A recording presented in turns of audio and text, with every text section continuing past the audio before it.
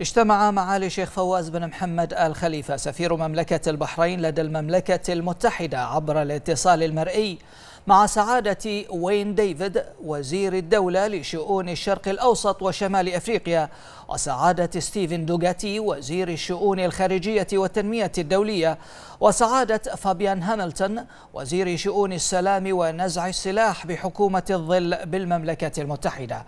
واستعرض معالي السفير العلاقات الثنائية بين البلدين الصديقين وسبل تطويرها مستقبلا والتعاون التاريخي في كافة المجالات وعلى مختلف الأصعدة.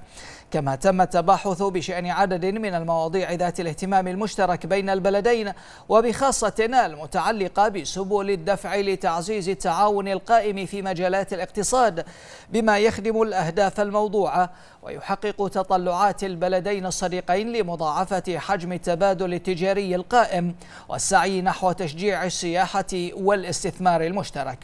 وأعرب الوزير ديفيد عن الشكر الجزيل لسفارة مملكة البحرين لتواصلها الدائم مع جميع الأحزاب الممثلة في مجلس العموم البريطاني وبخاصة حزب العمال. كما أكد اعتزازه بعلاقات الصداقة التاريخية والعميقة بين البلدين الصديقين والتي سيسعى من خلال منصبه للحث على تعزيزها.